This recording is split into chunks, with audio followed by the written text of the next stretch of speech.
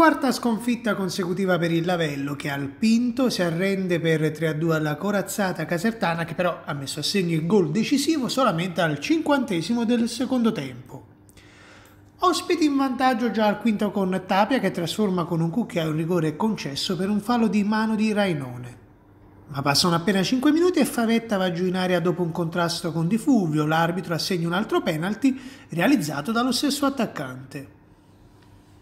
I campani premono e Felleca calcia di poco alto, ma è il preludio al sorpasso che arriva al 25 grazie alla deviazione sotto misura di Vacca.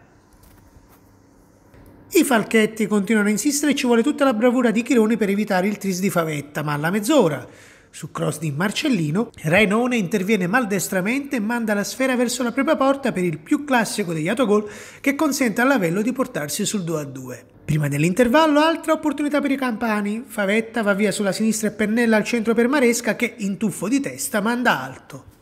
In avvio di riprese, il bomber ex Taranto è ancora protagonista e impegna Chirone con un bel mancino incrociato. La formazione di Feola si rivede con un tentativo a giro di Felleca che esce di poco. E dopo i tentativi di Caruso e Mansur, gol annullato a Favetta per fuorigioco. Alla mezz'ora, nuove proteste dei locali per un presunto tocco di mano su cross dell'entrato Nicolao, ma il direttore di gara lascia correre. Al 38esimo, l'altro subentrato Kosovan cerca Favetta sul secondo palo, il cui colpo di testa è impreciso.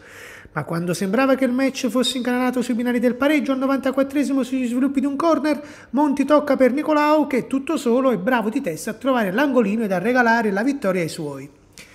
Dopo questa sconfitta il Lavello resta fermo a quota 34, poco sopra la zona play-out e domenica sarà impegnato in un'altra trasferta sul campo del fanalino di cola Virtus Matino.